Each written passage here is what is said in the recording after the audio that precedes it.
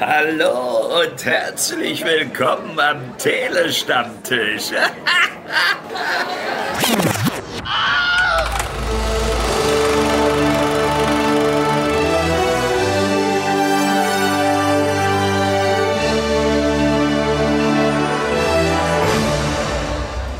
diesen alten Schlager, ja, die Tulpen aus Amsterdam. Daran denke ich aber aktuell nicht, wenn ich an Amsterdam denke. Ich denke auch nicht an irgendwie Marihuana oder irgendwelche Space Cookies. Nein, ich denke an viele, viele Topstars, die sich in einem Film versammeln. Und damit hallo zur Besprechung von Amsterdam. Ich bin erst du.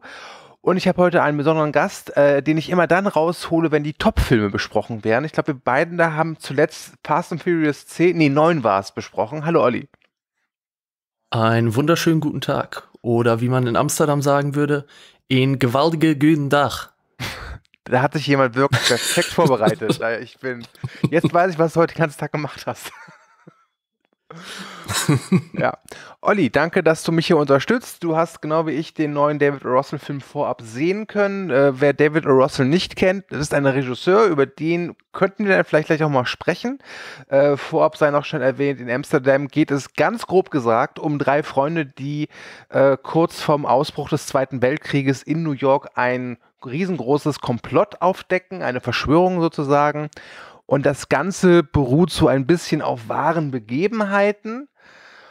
Und ich habe mir wirklich heute längere Zeit Gedanken gemacht, wie ich jetzt ähm, diesen Podcast so richtig eröffne und wie ich die, die eigentliche Besprechung anfange. Äh, ich habe mich für einen sehr drastischen Schritt entschieden, liebe Olli. Ich sage nämlich gleich vorweg, das war der für mich bislang langweiligste Kinofilm, den ich 2022 gesehen habe. Jetzt du. Ich würde mich da, glaube ich, sogar anschließen, ähm, denn ich habe eigentlich zu dem Film allen, die mich äh, gefragt haben, wie ich den fand, gesagt, der tut nicht wirklich weh, er ist aber einfach nur stinke langweilig. Ja, und das ist in der Hinsicht ja schon nicht problematisch, aber schade, wenn wir mal einen Blick auf die Besetzung werfen.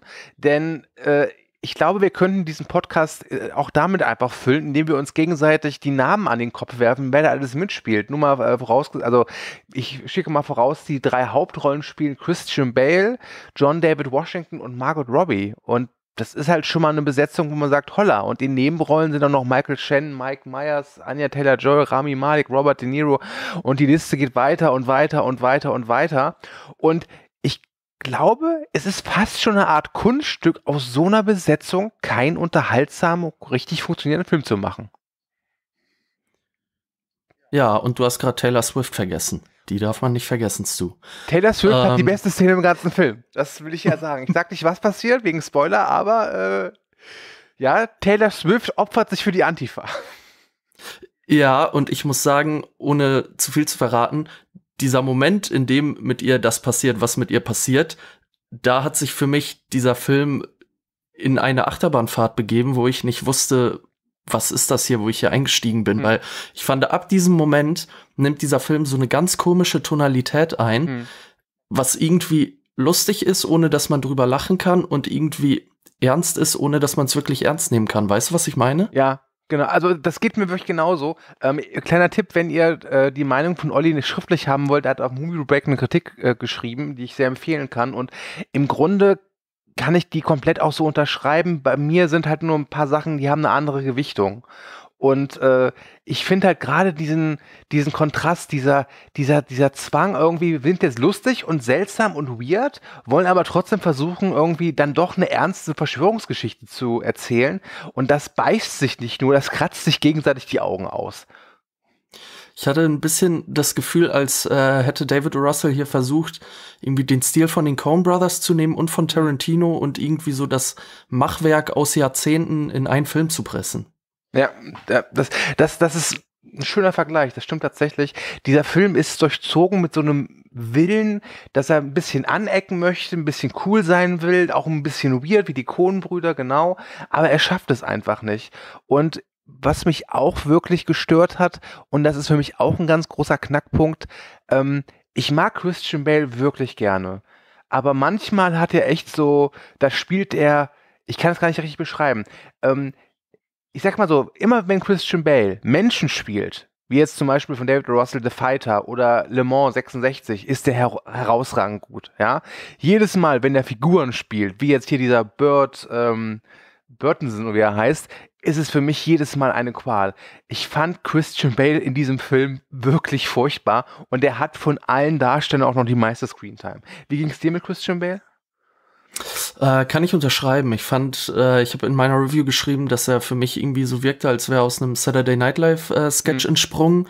Aber ich fand irgendwie so darstellerisch von niemandem gab es da irgendwie wirklich was Großartiges. Ich finde, Margot Robbie hat noch am meisten Spaß irgendwie dabei und das ist irgendwie ganz nett. John David Washington, dem sieht man an, dass er sich wirklich Mühe gibt, diese super langweilige, äh, langweilige Figur nicht ganz so langweilig zu gestalten. Und gut, der Rest äh, sind natürlich nur so kleine Randfiguren, die man irgendwie vielleicht gerne sieht, aber pff, irgendwie hat mich da nichts großartig mitgerissen. Ja, ist es dir auch so ergangen, dass jedes Mal, wenn der Film eine neue bekannte äh, Persönlichkeit einführt, also ich meine damit die Darsteller, Darstellerin, äh, dass dann jeder immer so ihre so zwei, drei Minuten bekommt, wo er oder sie dann glänzen kann und so zeigen kann, ich bin Schauspieler, jetzt zeige ich euch, was ich kann und es fühlt sich aber irgendwie alles so so stumpf an, so so auch so irgendwie wertlos, weil was, was bringt es mir, wenn, sage ich mal, Michael Shen und Mike Myers da sich irgendwie die Bälle zuspielen, aber es funktioniert einfach nicht. Weder, weder was den Witz angeht, noch was die Dramaturgie angeht und von, einer, von einem Spannungsaufbau müssen wir gar nicht auch erst reden. Hm, auf jeden Fall. Ähm, ich fand, es war so ein bisschen wie ein ja, Vorführen des Vorführens willen. Mhm. Weißt du, das, die Handlung war gar nicht so wichtig, sondern der Film schreit einfach alle zehn Minuten, oh, guck mal jetzt, hier kommt Zoe Saldana, oh, guck mal jetzt, Chris Rock ist auch noch da und hier der nächste. Und das war irgendwie, ja, langweilig, wie wir es schon ganz äh, zu Anfang gesagt haben. Ja, also ich bin ja auch jemand, der jetzt nicht so der große Freund davon ist, zu sagen als Kritikpunkt, der Film ist langweilig. Aber es tut mir leid, bei Amsterdam bleibt mir jetzt irgendwie keine andere Wahl. Ähm, wir haben den ja vorab sehen können, wie schon gesagt, und ich hatte wirklich stellenweise Probleme, die Augen aufzuhalten. Nein, ich habe den nicht irgendwie früh morgens um sieben gesehen. Äh, ich hatte meinen Mate und meinen Kaffee in, ich war ausgeschlafen und trotzdem war das wirklich, also es war wirklich Arbeit, dieses Film zu gucken. Es kam mir wirklich vor, als würde ich arbeiten. Und das ist kein gutes Zeichen bei einem Film, wie ich finde. Ja, und eine Frage. Hm. Hast du dich in dem Film manchmal so gefühlt, als würde dich David Russell minimal für blöd verkaufen? Ähm, ja, schon. Ich, ja, doch, doch. Also manche, manche Sachen wurden mir so tot erklärt, wo ich dachte, das habe ich verstanden. Äh, es hat mich teilweise ein bisschen erinnert an den letzten Bully-Film 1000 Zeilen, der ja auch immer so Sachen gefühlt achtmal erklärt. Äh, ah, ja, danke schön. Ja. weil genau an diesen Film musste ich auch denken, weil ähm, man hat tausende Voice-Over von Christian Bale, wo man denkt, okay, warum erzählst du das? Zeig es doch einfach. Und klar, der Film darf jetzt keine vier Stunden mhm. gehen, aber dafür zeigt er andere Dinge, wo ich mir denke, okay, warum zeigst du mir ausgerechnet das? Und äh, dann hat man immer diese Wiederholungsschlaufen. Die drei ProtagonistInnen stolpern irgendwie auf ihrem, ähm, auf ihrer Suche nach der Wahrheit durch so verschiedene Stationen. Und jedes Mal, wenn die in einer neuen Station ankommen, ist es so ein, ah ja, wir kommen gerade von da und da haben wir mit dem und dem geredet und der hat uns das und das gesagt. Und sie sind, ah, okay, dann gehen wir jetzt dahin und erzählen dem und dem das und das. Und das hat man ständig. Und ich denke mir, ja, wir haben das doch gerade gesehen, warum wird uns das erzählt? Mhm. Und es ist wirklich, und bei tausend Zeilen, ähm, war es, glaube ich, so, dass Elias Mbarek irgendwann sagt, äh, ich fasse noch mal zusammen und ja. dann wirklich die komplette Handlung darüber erklärt, wo ich mir so denke, das ist das unfilmischste, was man in einem Film machen kann. Warum tut ihr das? Und das nervt mich dann immer so so Kleinigkeiten und dadurch hat auch der Film so ein ganz komisches Tempo. Alles wirkt dadurch irgendwie so gehuscht, gehuscht, gehuscht. Und weil es äh, gehuscht ist, muss es dann nochmal erklärt werden. Und das fand ich einfach äh, hanebüchend. Ja, das stimmt. Also ich sag mal etwas Positives. Ähm, ich finde, der Film sieht schon sehr gut aus. Du siehst, dass die Kamera einen Emanuel Lubezki hatte. Das ist der, der Mann, der hier Revenant und Gravity gemacht hat, glaube ich, zwei oder dreifache Oscar-Preisträger, der auch viel mit Terence Malick zusammengearbeitet hat. Die Musik ist von Daniel Pemberton, der macht ja auch relativ gute Scores. Also technisch kann man dem Film jetzt kein, keine Anklage machen. Aber halt eben, ich finde, die, den, die Hauptschuld, dass der Film so versagt hat, glaube ich, ist wirklich der Regisseur und Drehbuchautor David O. Russell. Und vielleicht sollten wir über den mal ein bisschen reden. Ich muss hier im Vorfeld ganz klar sagen, ich war noch nie so großer David Russell-Fan. Ich weiß, es gibt viele Fans draußen, die mochten zum Beispiel den American Hustle sehr. Den fand ich auch schon schnarcht langweilig, aber nicht so schlimm wie Amsterdam. Ähm, wenn ich mir einen Lieblingsfilm von Russell aussuchen müsste, wäre es The Fighter. Hast du dann Favoriten? Ähm, ich habe The Fighter leider nicht gesehen, aber ich glaube, so gut wie alles, was danach kam und ich bin echt nicht so der David O. Russell Fan. Also ich fand ähm, American Russell äh, American Russell. American Hustle. Finde ich gut. American Russell American, super. So, so American Russell wäre wär vielleicht der bessere Film gewesen. Äh, American Hustle fand ich ganz okay. Ähm, und danach hat er noch diesen Joy alles außergewöhnlich gemacht, den ich furchtbar finde. Mhm. Und Amsterdam finde ich jetzt auch nicht so toll, deswegen, ähm, ich bin kein David O. Russell-Fan, leider. Ja, man muss ja auch sagen, dass der Mann ist, also ich frage mich, wie es der Mann schafft, jedes Mal wirklich diese Stars zusammenzubekommen, denn er ist ja in Hollywood kein unbeschriebenes Blatt. Der gilt ja als wirklich sehr, sehr großer Choleriker. Es gibt ja viele Darsteller, Darstellerinnen, die gesagt haben, mit dem arbeite ich nie wieder zusammen. Zum Beispiel George Clooney gehört dazu. Amy Adams hat, glaube ich, nach American Hustler auch gesagt, okay, das reicht mir jetzt. Es gibt ja auch ein sehr bekanntes Video, wo er Lily Tomlin beim Dreh zu I Heard Rugby's wirklich so zusammenschreit, dass die Frau einen Weinkrampf bekommt. Dazu gibt es noch ein paar andere Sachen, die irgendwie, die so offenbart wurden. Er soll zum Beispiel seine transsexuelle Nichte irgendwie sexuell missbraucht oder angetatscht haben. Da will ich mich jetzt nicht zu weit aus dem Fenster lehnen. Es gibt auf jeden Fall genügend Gründe, warum dieser Mann eigentlich nicht so viele Stars zusammentrommeln sollte oder kann, aber er schafft es trotzdem. Und ich frage mich wirklich nach Amsterdam, warum? Und nicht nur, weil der wahrscheinlich, so wie es aussieht, ein richtiges Arschloch ist, sondern also das funktioniert halt einfach nicht. Da habe ich nichts hinzuzufügen. Ich habe mich doch schon als kein David Russell-Fan geoutet zu. Was willst du denn von mir hören?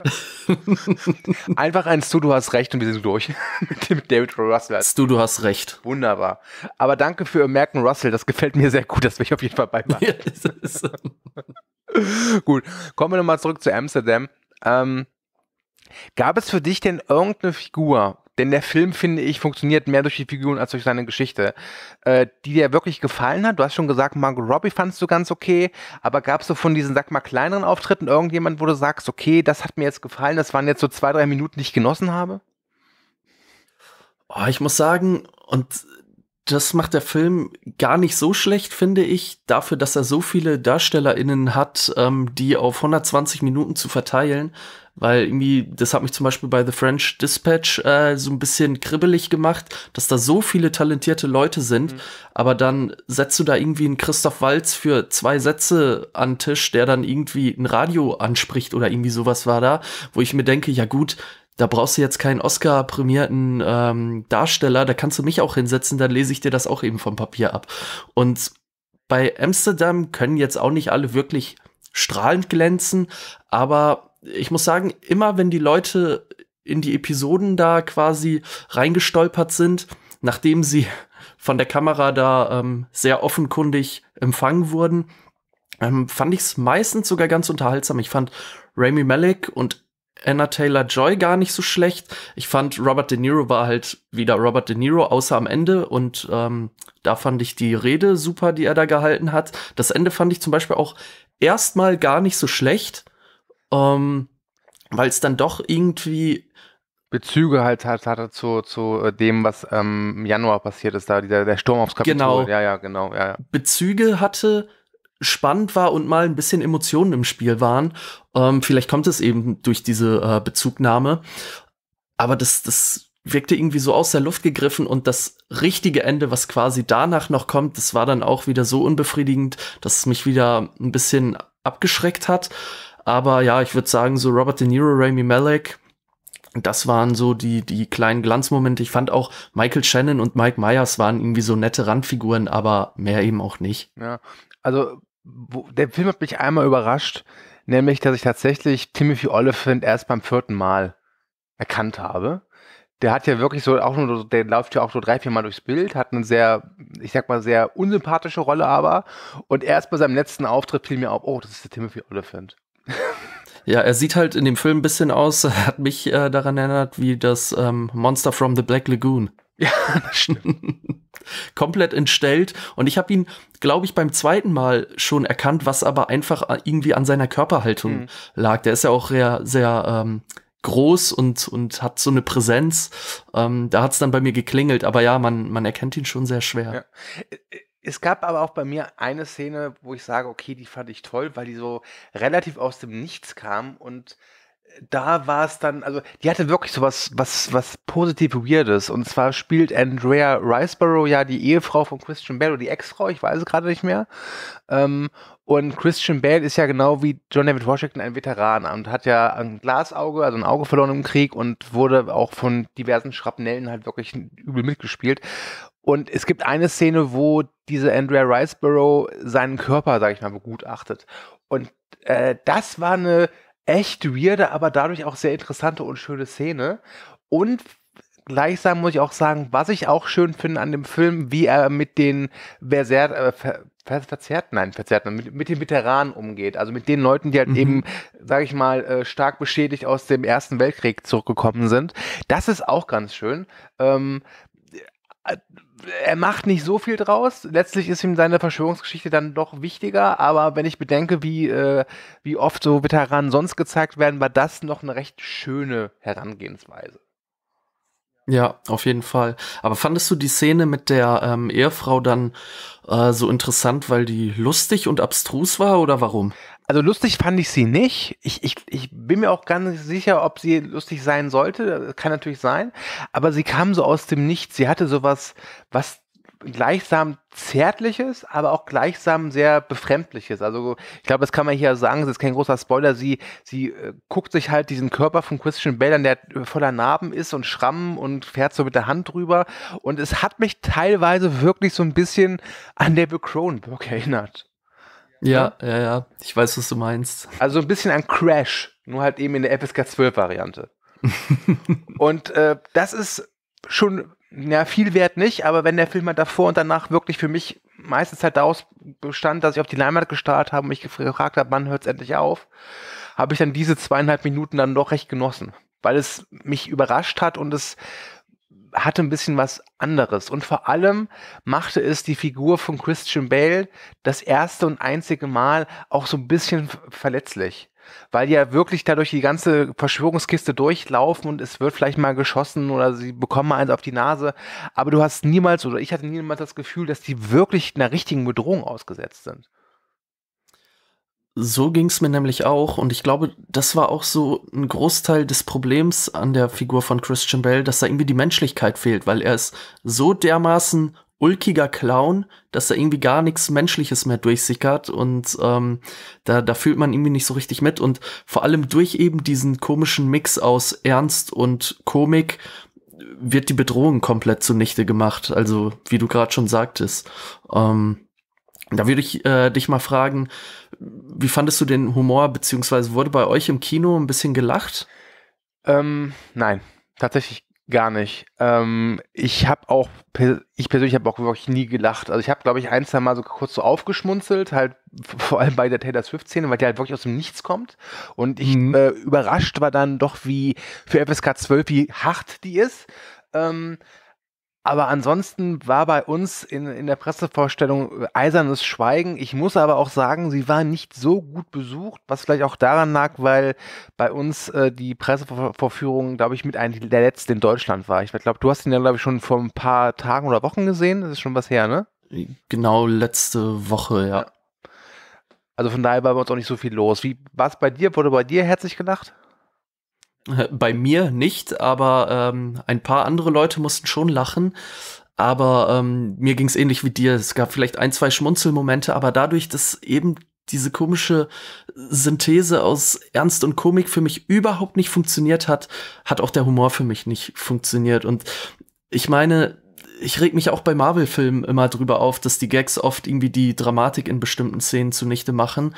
Aber bei Amsterdam ist es im Hinblick auf den Humor irgendwie auf dem Level von einem Ralf Schmitz Comedy-Programm für mich. Und da denke ich mir einfach, nee, hau mir ab damit. Das, das ist einfach nicht witzig.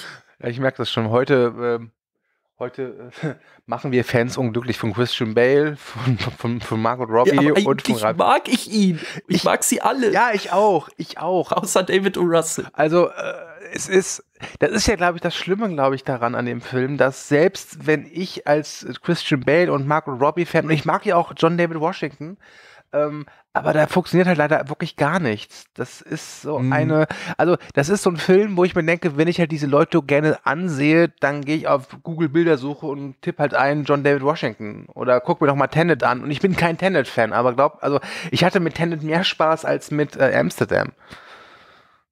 Ja, auf jeden Fall, ich auch. Ne? Also ganz ehrlich, ich fand sogar rückblickend ist Tenet kurzweiliger als Amsterdam. Und das soll was heißen. Jetzt hole ich sie raus, die ganz heftigen Schläge gegen Amsterdam. es, es, tut mir ja. wirklich leid, weil auf dem Papier klingt, klingt Amsterdam halt super. Ne? Du hast einen Oscar-prämierten äh, Regisseur, du hast äh, wirklich ein, eine Besetzung so voller Stars, da könnten sechs Filme von gemacht werden. Und du hast eine Geschichte, die durchaus, obwohl sie äh, zwischen dem Ersten und Zweiten Weltkrieg spielt, durchaus Bezüge besitzt unserer heutigen Zeit und sie basiert auf einer Geschichte, die ja da durchaus teil, zu teilen wahr ist. Aber das Ergebnis also es wirkt auf mich wirklich so, als ob David Russell fast schon absichtlich gesagt hätte, wisst ihr was, ich versuche jetzt einfach mal aus guten Ingredienzien das langweiligste zu extrahieren, was es geht. Absolut, absolut. Ich finde, du hast gerade einen interessanten Punkt äh, angesprochen, dass halt äh, alles viel zu zusammenklabüstelt ist, in 132 Minuten gepresst. Meinst du, das hätte als Miniserie und vielleicht äh, unter der Regie einer anderen Person besser funktioniert? Ich glaube tatsächlich, dass es unter einer anderen Regie äh, auch als Film besser funktioniert hätte. Ähm, ich glaube, die Geschichte an sich ist nämlich sehr interessant und man hätte sie entweder strikt als Komödie oder strikt als Spannungsfilm bringen können. Dann wäre das ein, glaube ich, sehr guter Film gewesen. Äh, Miniserie ginge wahrscheinlich auch, ja. Ähm, aber wie ich glaube ich schon sagte, äh, für mich ist die Hauptschuld die Regie und das Drehbuch. Ja. Muss ich leider so sagen. Also ich würde Christian Bale jetzt keine, äh, keine, keine, kein, keine Anklage gegen den Kopf werfen, wobei man sich ja schon fragt, warum macht er da mit? Ja, ne? Aber vielleicht ist er ein Freund von David Russell, ist ja nicht das erste Mal, dass wir jetzt zusammen spielen. Ähm, aber der Hauptschuldige ist für mich äh, der Regisseur und das ist jetzt auch vollkommen egal, was der davor gemacht hat oder ob es jetzt ein privaten Arschloch ist oder nicht, aber ich finde, dass David Russell hier ziemlich versagt hat. Ähm, ja. Ich absolut bei dir. Bin ich absolut bei dir, ja. Das ist schön. Olli, hast du noch irgendetwas? Nee. Gut dann hoffe ich mal, dass dieser Podcast nicht so langweilig ist wie Amsterdam. Und äh, wenn ihr böse Kommentare habt, dann immer her damit. Da stehen wir drüber. Denn auch böse Kommentare werden unterhaltsamer und spaßiger und kurzweiliger sein als Amsterdam. Damit äh, wäre das mein Fazit. Wenn du willst, Olli, kannst du gerne noch auch ein, selbst ein Fazit jetzt ziehen. Boah, mein Fazit beschränke ich, glaube ich, einfach darauf, dass ich sage, dass der bessere Titel für diesen Film nicht äh, Amsterdam, sondern Amsterdam gewesen wäre. Und äh, sich dieser Film einfach so anfühlt, als würde man mit einer Mofa bei der Formel 1 mitfahren. So, das reicht. Das ist, das ist ein sehr schönes Bild. Das ist wirklich ein sehr schönes Bild. äh, dann vielen Dank für deine Meinung zu Amsterdam, äh, der am 3. November glaube ich, in die deutschen Kinos kommt. 3. November oder 2. November. Ihr findet das schon raus. Ihr habt googelt, ne, dann kriegt ihr das raus. Ähm, denkt dran, ihr könnt den Telestammtisch überall hören, wo es Podcasts gibt und ihr könnt ihn auch auf einigen Plattformen, wie zum Beispiel Spotify, auch bewerten. Da wären wir sehr froh, wenn ihr da eine positive Bewertung raushaut. Warum? Weil sonst der Olli weint. Das möchte hier niemand. Ähm, und denkt dran, wir haben auch eine Webseite www.telestammtisch, nee, tele-stammtisch.de. Da bekommt ihr alle unsere Podcasts und noch ein paar Informationen zu unseren Redakteuren und Redakteurinnen. Damit war es das. Ich hoffe, ihr hattet Spaß. Der Olli und ich hatten auf jeden Fall Spaß. Also beim Podcast, nicht bei Amsterdam, um es jetzt nochmal genau. final nochmal zu unterstreichen. Und ich sage Tschüss und Olli, dir gebührt das letzte Wort. Jawohl, ich sage vielen lieben Dank, du, und ähm, euch viel Spaß im Kino und bis zum nächsten Mal. Tschüss.